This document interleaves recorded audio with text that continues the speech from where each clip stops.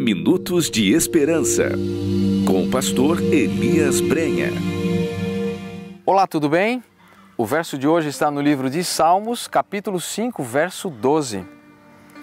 Pois tu, Senhor, abençoas o justo e como escudo o cercas de benevolência.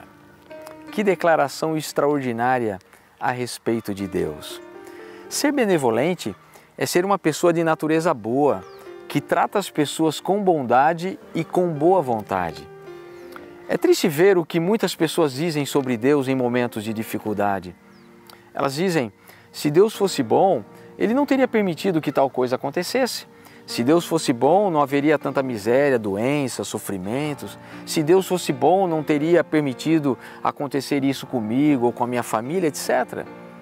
Eu tenho certeza que você já ouviu pessoas dizerem isso. Então deixa eu lhe dizer uma coisa. É exatamente isso que Satanás quer que você pense a respeito de Deus. Quando ele não consegue apagar Deus da mente das pessoas, ele o retrata como um Deus distante, sem amor pelas suas criaturas, um Deus mais interessado na justiça do que na misericórdia. Porém, isso não é verdade a respeito de Deus. Veja o que Jesus disse: Ora, se vós que sois maus sabei dar, dar boas dádivas aos vossos filhos, quanto mais vosso Pai que está nos céus dará boas coisas aos que lhe pedirem. Mateus 7,11. O que Jesus está nos dizendo, em outras palavras, é que Deus é benevolente, que Ele trata cada um de nós com bondade e com boa vontade. E a prova maior de Sua benevolência foi o que Ele demonstrou por nós na cruz do Calvário. O apóstolo Paulo escreveu: aquele que não poupou o seu próprio filho, antes por nós o entregou, porventura não nos dará graciosamente com ele todas as coisas? Romanos 8,32. Eu não quero aqui fazer nenhuma apologia ao sofrimento. Aliás, não gosto dele e nem gosto de ver as pessoas passando por ele, mas, embora o sofrimento esteja nesse mundo, esse não foi o mundo que Deus projetou para seus filhos. Mas graças a Deus, o preço do pecado e do sofrimento já foi pago por Jesus na cruz. E em breve todo o sofrimento da humanidade acabará. E isso é uma extraordinária notícia que alimenta o nosso coração de esperança. Em Romanos 8,18, o apóstolo Paulo escreve: Porque para mim tenho por certo que os sofrimentos do tempo presente não podem ser comparados com a glória que há de ser revelada em nós. Veja essa declaração de Ellen White. Tudo quanto nos tem confundido acerca das providências de Deus será esclarecido no mundo vindouro. As coisas difíceis de serem compreendidas terão então explicação. Os mistérios da graça nos serão desvendados. Naquilo em que a nossa mente finita só via confusão e promessas desfeitas, veremos a mais perfeita e bela harmonia. Saberemos que o amor infinito dispõe as experiências que nos pareciam as mais difíceis. Ao reconhecermos o termo cuidado daquele que fez todas as coisas contribuírem para o nosso bem, regozijar-nos-emos com júbilo inexprimível e repleto de glória.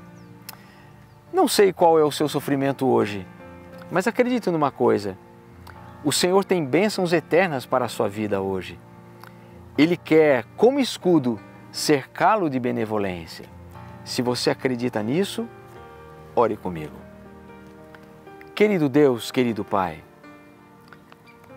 há muitas coisas que nós não compreendemos e às vezes elas até nos confundem.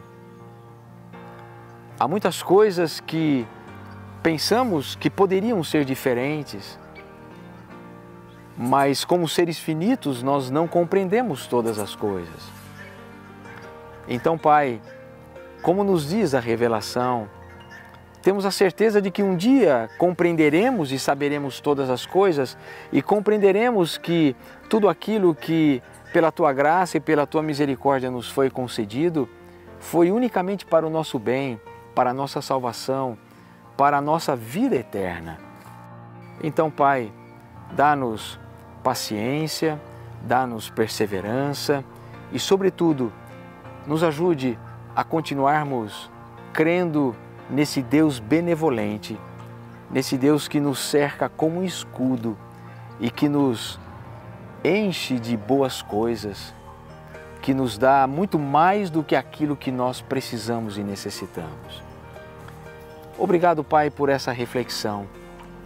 Continue abençoando todos os nossos queridos amigos, aqueles que estão diante da tua presença nessa hora, estão recebendo e buscando essa bênção e que todas as suas necessidades sejam supridas no nome e no poder de Cristo Jesus.